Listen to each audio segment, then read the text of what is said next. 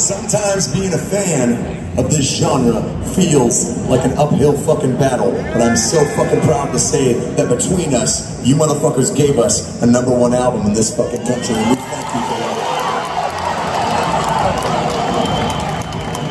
Which tells me two things now, settle down. One, there's still plenty of fucking crazy people in this goddamn state, and I'm looking at you.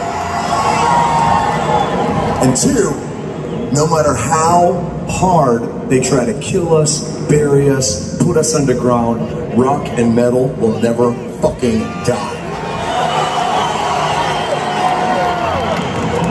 And any of those shiny motherfuckers think they can figure this out, they can suck my fucking dick. Now, let's back up a little bit. For those of you who have the new album, how would you like to hear another song off of our new album? Would you? Hear something new off our album up front? Let's turn this spotlight down. One place to take you someplace to go. Here we go.